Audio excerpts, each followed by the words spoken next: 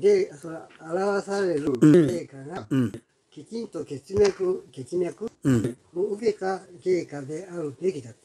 ことね。うん、もちろんべきなんだけどさ、そこがさっきの話なんだけど本当に大聖人様を信じてるんですかってことなんだよね。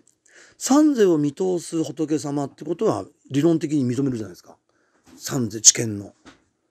ご本ご本部様だからさ過去現在未来を見通される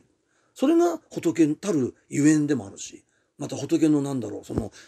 物力なわけだよね。そ、それがご本物でしょうがよ。100年先のことちょっとわかんねえんだけどねっていうような仏じゃ困るんだよね。それの証拠がさ、むしろもっと遡ると、お釈迦様が3000年、まあまあ、正確には2500年なんだけど、2500年先のことまで見通されて、消防造法末法も、見事にその通りに時代が動いてきたじゃないですか。そして自分の、つまり最低でも2000年先は見通されてるわけだよ。そして、法華経で、あの、予言、まあ、まさに予言だよね。上行菩薩が、私は上行菩薩に、その、究極の送電をしましたよと。それが要望、結腸付属だ。で、その方が2000年後に現れてくるぞと。で、その通りにもなったわけじゃないですか。大それが大聖人様だよね。でも、大聖人様のご胸中は実はお釈迦様の使わされた弟子ではなく、実は久遠の仏様だったんだよと。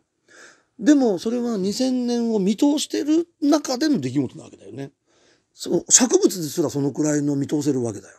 ましてやんやご本物っていうのは三世を知るを商人というとかいろんなことがあるじゃないですか。だからってことはだよさっきのその106箇所のねあの値おろそかに聞いてほしくないんだけどさこのいい？ただし直樹結腸付属はただ1人なりと。つまりまあこの前行くと6人の工程を定めましたよと。でもでもねと。その中でも取り分けて一人の人間にその結腸付属つまりお釈迦様から上行菩薩に授かったと同じ儀式なんだよね。内容は分かんないんですよこれ。大聖人しか知らないんだよ。そのものを日光に唯一ただ一人に授けましたよと。で白蓮アジャリ日光をもって相関図となし日蓮が章にことごとくもって毛頭ほどもこれを残さずことごとく付属せしめ終わんぬ。でこれもね冷静に考えると歴史が長いから分かるんだけど御書読んでって日光商人に当てた御書ってほとんどないんだよね。つまり文字化されてないんですよ。ただそれは先ほどご主人のあご主ご主人がおっしゃったその上髄救助していく中に大聖人の本当の仏法が口伝で口伝で注がれてったんですよ。でそれがここにはっきりしてんだよね。日蓮日蓮が章にことごとく持って毛頭だから毛す毛毛の先ほどもあの残さないで全てそっくり一滴も残さず、えー付属しましたよと日光に。でこっからだよね今度は未来の話になると上主異下上主っていうのはその時に定めた六老僧の話ですよ。の5人たちもそれからそれの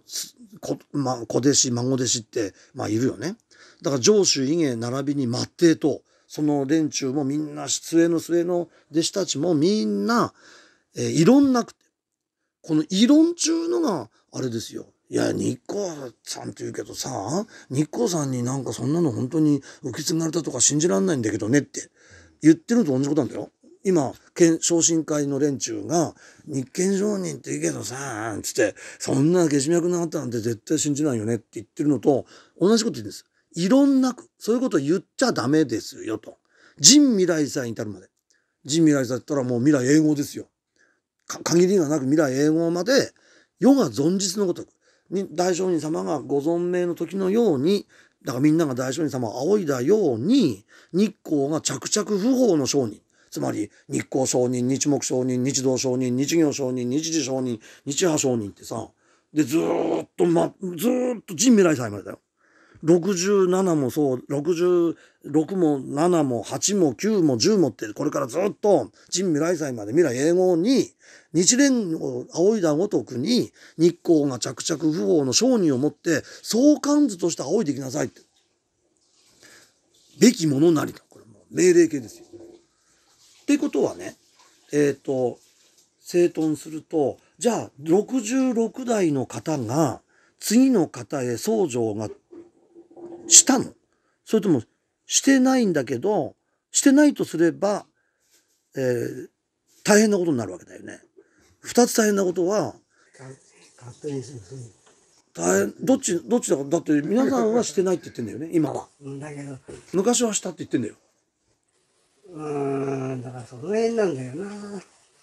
それも科学的な根拠も何もないのに昔だって別にその僧正の場を見てないのにだけどもういきなり登られておお通夜から芸座の立場に立ってえーそんなことあったっけってそんなことあるってなのにそのと僧侶もいたんですよでもその時に昇進会の人たちはおめでたいことだっつったんだよ。ただ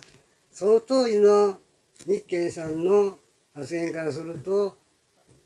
要するに創価学会を全道していくっていうことだったもんね。それはそうだよ。それを方々をなくすってこと。もうもちろんもちろん。だからみんな反応したんじゃないんですか？じゃあ何？えっ、と血脈僧正そのものを信じてるんじゃなくてその方をのおふるお振る舞い方をあるいはご指南の仕方が軸足であったとのないなどって言ってるってことはさまさに芸大に登るにふさわしいのってことなんですね。